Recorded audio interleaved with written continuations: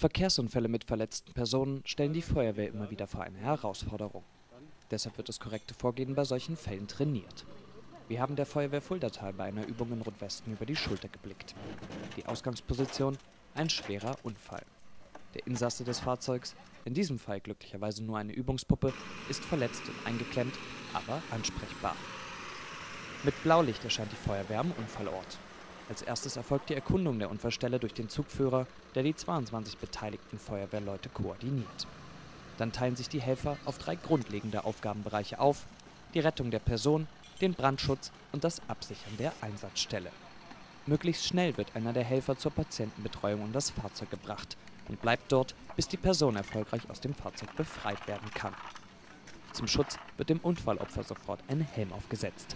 Die folgenden Bilder zeigen auch warum. Mit schwerem hydraulischem Rettungsgerät verschaffen sich die Feuerwehrleute Zugang zum Innenraum des Fahrzeugs. Mit einem Spreizer wird dazu die Tür aufgestemmt. Zum Schutz der Insassen hält der Helfer im Auto eine Scheibe vor den Arbeitsbereich.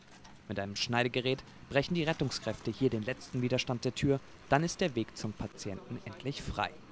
Nach Rücksprache mit dem Notarzt vor Ort müssen die Feuerwehrleute aber noch einmal ran.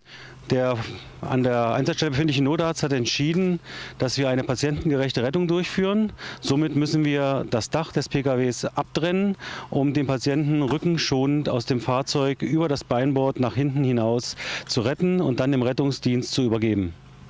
Das Unfallopfer muss patientengerecht, also liegend aus dem Fahrzeug geholt werden. Damit das funktioniert, muss das Dach ab.